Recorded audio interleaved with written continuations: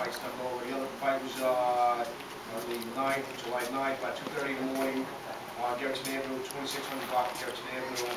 Um, male's hit in the head with some kind of a blunt object.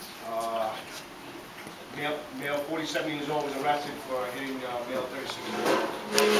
The only other crime, uh, we found out marked as a grand larceny woman has, uh, I believe she's, uh, some kind of a teacher or her residence, and somebody removes her, uh, purse containing, uh, cash and credit cards, that was up in court. Okay, that was, um, no arrest on that. Um, July fourth, uh, we had about a dozen, uh, summonses issued for fireworks, there was one arrest made, person had active warrants. All right, um, that's about all I have as far as, uh, crime reports, I'll take any questions. George, do you have anything? Uh, I don't know if part of that report included, unless it was the sixty-third, was the flyover chasing from the third fight, so when... The helicopter thing. Uh, Those were this weekend? I would- uh, At the end of last week, This uh, time? there was a flyover, we heard that one person was caught. but we don't know.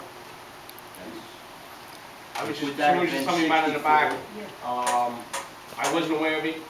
I believe that there was a bike confiscated, as far as I know, there was no arrest made, I'll look into that more, just quick to hear about it. Um, yeah. Someone there left the fight. That's the story I heard, yes. That was Liz. Anybody else, any questions for? Go ahead. Go ahead. Aye. Right. I just think it's appropriate to thank um, 61st for their help with the um, auxiliaries at the TV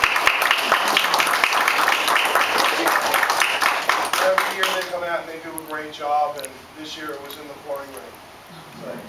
Thank you. Thank you. I'll pass it on to the auxiliary. We have, uh, unfortunately, we have one of the largest auxiliary uh, units in, in the city, not just in Brooklyn.